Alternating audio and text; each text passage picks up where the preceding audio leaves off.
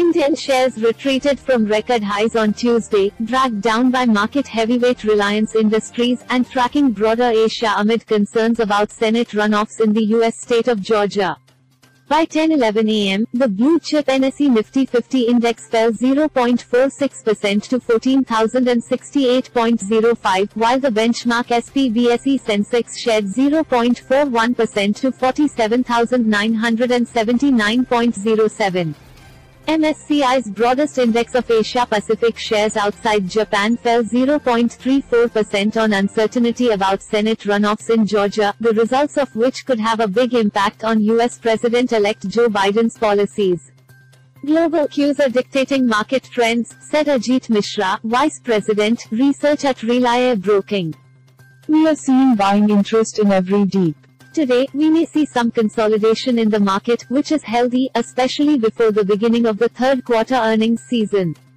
Indian shares hit record highs on Friday and Monday to kick off the new year, helped by continued foreign fund inflows and progress on COVID-19 vaccines.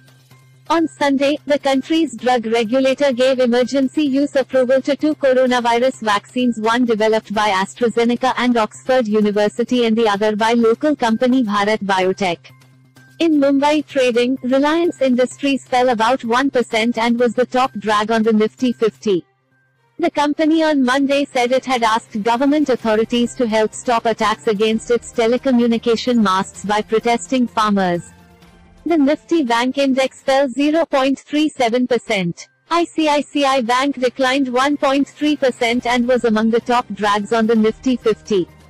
Housing Development Finance Corp provided some support to the Nifty 50, rising 1.9% after the country's biggest mortgage lender said its individual loan disbursement grew 26% in the third quarter.